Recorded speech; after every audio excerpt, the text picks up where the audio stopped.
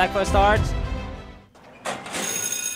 Racing in the first race of the afternoon uh, with oh with uh, out of uh, gate number two Foresto not very happy at the moment maybe uh, injured uh, he lost quite 10 lengths from the rest of the pack.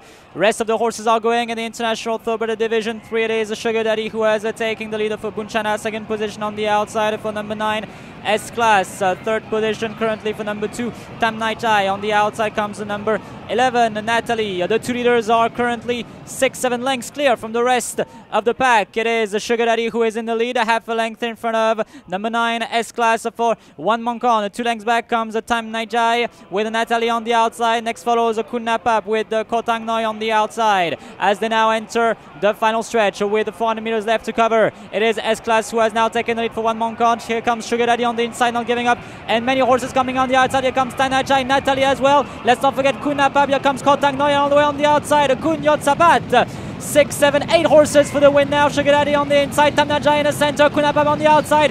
Khun Yodspat on the outside with Kotang Noi. Khun Yodspat for Sankang is going to get the first race of the day. Beats home number uh, 7, Kunapap in front of number 1, Kotang Noi. Number 2, Tamnajai. Next was number 11, Natalie. 3, 7, 1, 2, 11 for the unofficial placing.